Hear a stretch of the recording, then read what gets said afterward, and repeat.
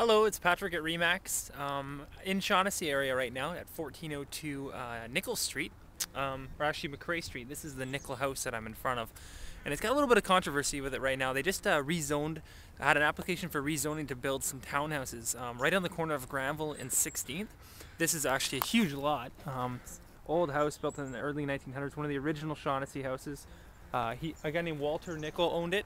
He was the owner, one of the owners of the province, and a former lieutenant governor of Canada, um, or actually British Columbia. And here's the zoning application that they put in. So apparently, some people are trying to fight it. Um, this is actually where it's gonna go.